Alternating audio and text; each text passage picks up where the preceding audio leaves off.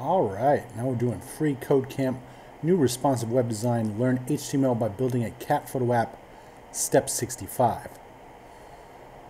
Notice that everything we've added to the page so far is inside the body element. Turns out, oh it is, look at that. And here's the body. And here's the body. All right.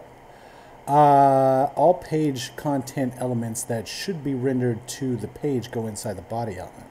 However, other important information goes inside the head element. We're going to add a head element above the body element. Gotcha. So, let's see right here. All right, HEAD, and then HEAD. All right, didn't do too much over here. Let's check it and see what happened. Looks good. Submit it. All right, and now we're on step 66, and we'll see you next time.